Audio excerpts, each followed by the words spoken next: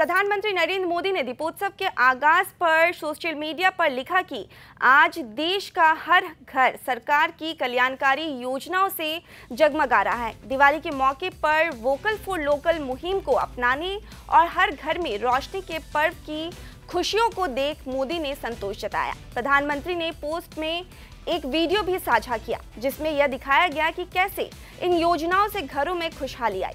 माई गॉव India पर हर घर योजना में हर घर उपहार, देश मना रहा त्यौहार। पोस्ट में दिखाया गया कि कैसे उज्ज्वलता योजना की से घर की महिलाओं की रसोई से धुआँ बाहर गया और रौनक आई।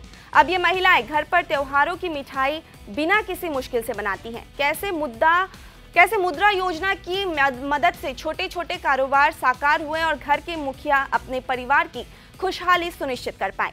यही नहीं, आयुष्मान भारत जैसी योजना से स्वास्थ्य की चिंताएँ दूर हुई और लोगों को मुफ़्त इलाज का वरदान मिला। यूपीआई की देन से सिर्फ़ एक टच से शगुन अपने शुभचिंतकों के खातों में पहुँचा और कैसे सरकारी योजनाओं का लाभ सीधा लाभार्थियों के खातों में पहुँचने से उनके चेहरे पर मुस्कान खिली।